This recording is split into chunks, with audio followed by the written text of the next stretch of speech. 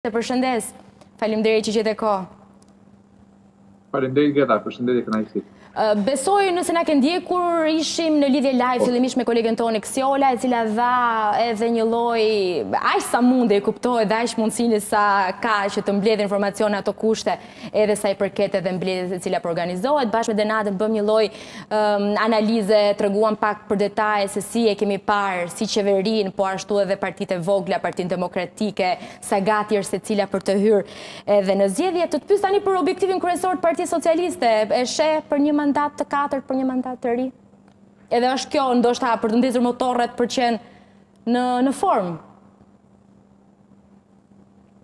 Në pamje të parë, pa diskutim që duket sikur është çimentuar mandati i katërt mm -hmm. për Partinë Socialiste, për hir të së vërtetës.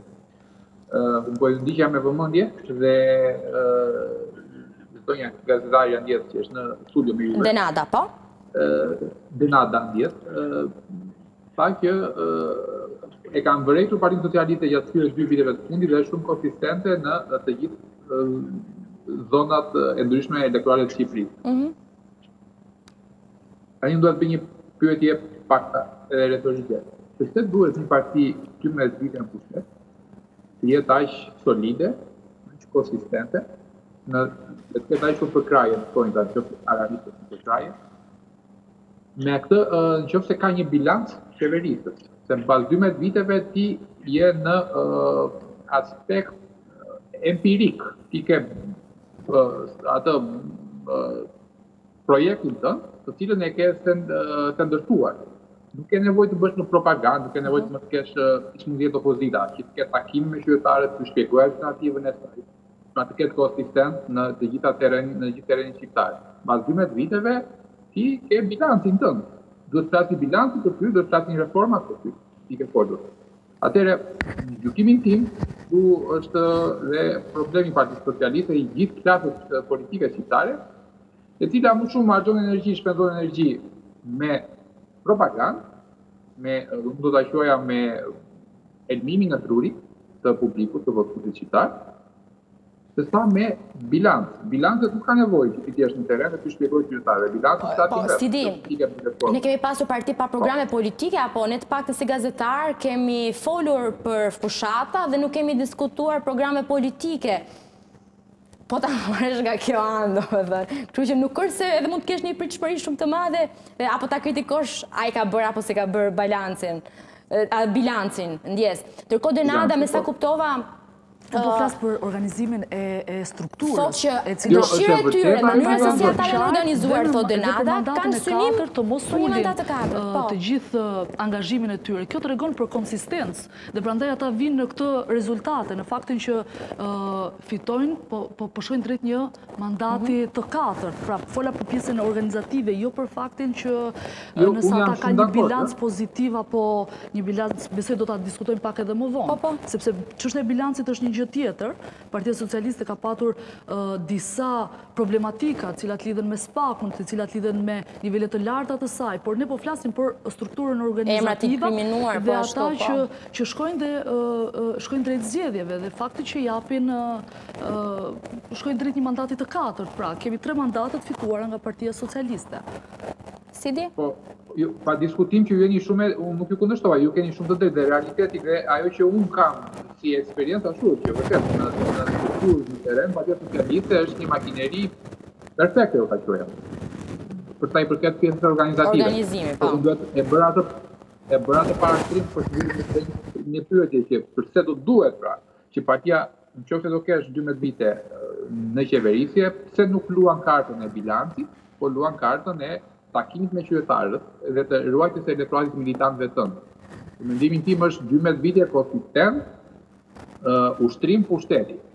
Pra, ke një rrjet të madh, që është administrata, përfshirë familjen e tyre, pra secili familjarisht, ke një rrjet të madh influencash ekonomike, të cilën ti e ushtron më pas e konverton në influenca në vota në terren.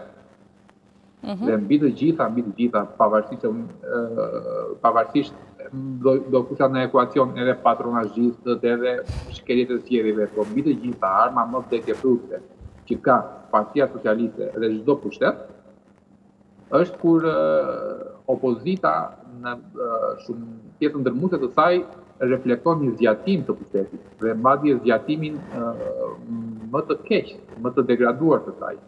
Qoftë se opozita është një zgjatim i ignorancës, i korrupsionit, i mungesës së qarkullimit të elitave. dhe qytetarëve ju propozohet hajduti im është më mirë se hajduti që është në mhm. pushtet, po. xhepi im është më ngushtë se xhepi që është në pushtet. Po. Pastaj ndodh kjo që që Partia Socialiste pak a shumë mbreti do ta them kështu me një fjalë jargoni, se ne kemi një brez pak a shumë bashkë, ne themi në brezin tonë po, është shprehja që është lishe.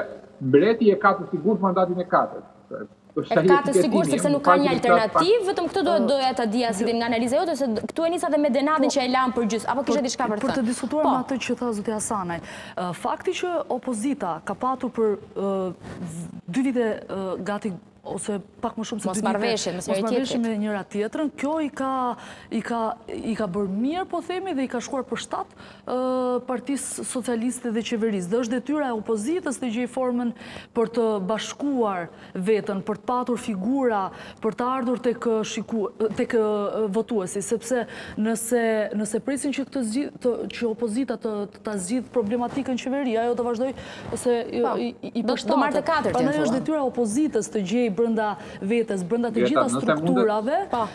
element emra të rinj, drejtues qarqesh të rinj, por edhe të bashkohet, të gjejë formën e përbashkët për të patur një maksimalizim të votës. Kryeministri Rama vetë në vitin dy mijë e trembëdhjetë, në kohën kur erdhi në pushtet, pas një beteje shumë të gjatë me Berishën dhe me Partinë Demokratike, arriti të mbledhë, jo vetëm të gjithë eksponentët politikë, por ai doli në terren dhe kërkoi, po themi, shtrirjen e dorës ndaj secilit demokrat, socialist, parti të vogla, pra ka qenë konsistent në atë... Gjë që s'po e shohim deri më tani me opozitën. Përveç kësaj, partia demokratike, ndërkohë që rreket të gjej gjuhën e përbashkët, të mbledh copzat me cilat u copzua gjatë luftës së brendshme, jemi vetëm 10 muaj para zgjedhjeve, të ndarë apo gjysëm të bashkuar, apo duke ja hedhur faje njëra tjetrës, do të krijojë një hendek i cili do t'i japë një mandat tjetër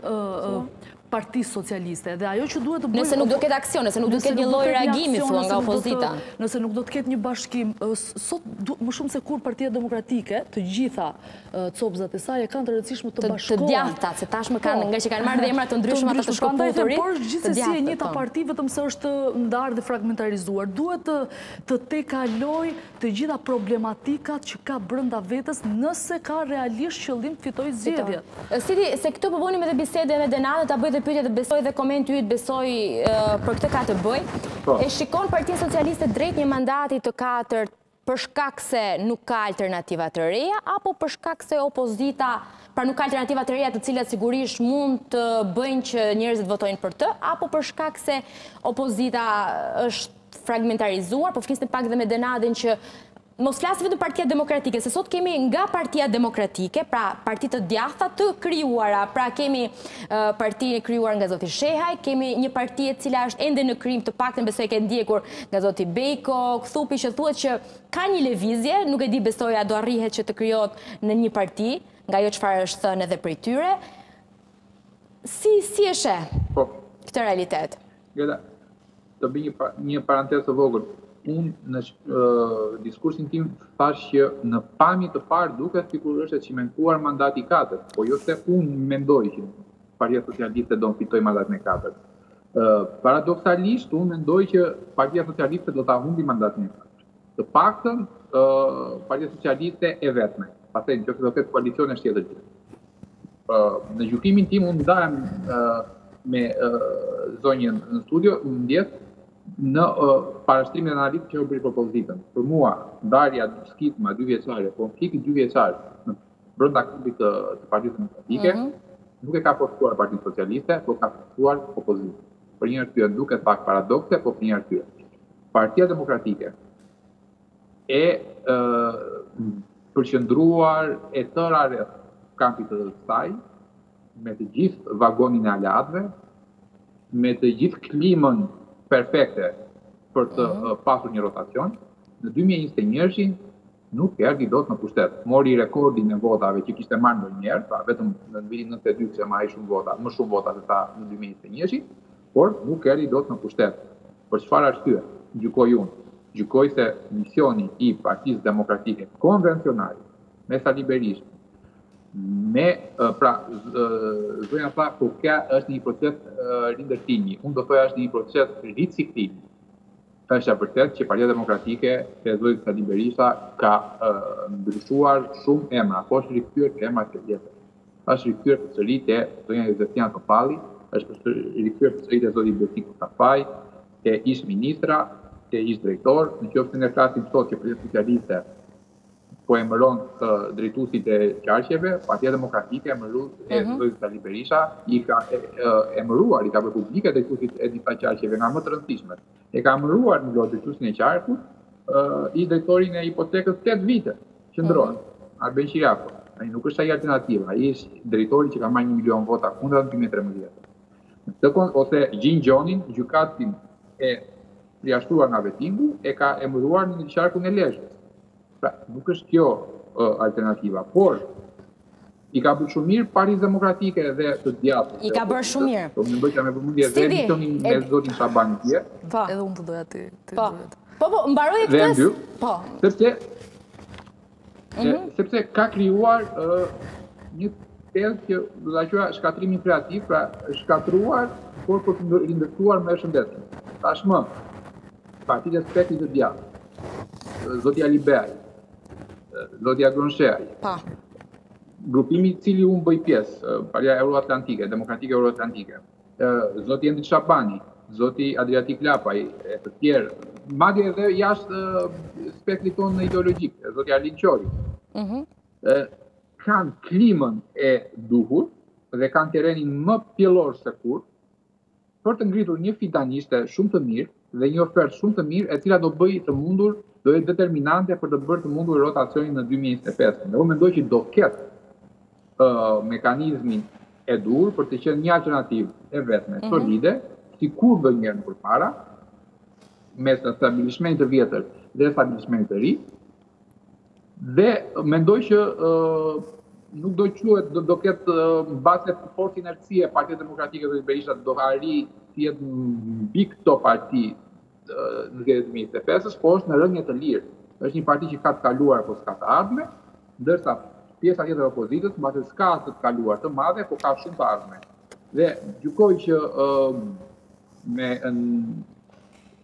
Fleksibilitetin e duhur, mbase dhe një tërheqje në momentin e fundit nga zoti Berisha, mund të bëhet një marrëveshje mbase edhe post zgjedhore, post datës së zgjedhjeve të njëzet e pesës, për të rrëzuar zotin Rama nga qeveria. Unë nuk e shikoj zotin Rama kaq të fuqishëm. Kaq të fuqishëm. Atëherë e bëjmë e bëjmë kështu, Sidi, duke qenë se është edhe momenti i publicitetit dhe edhe Denada po më kërkon fjalën,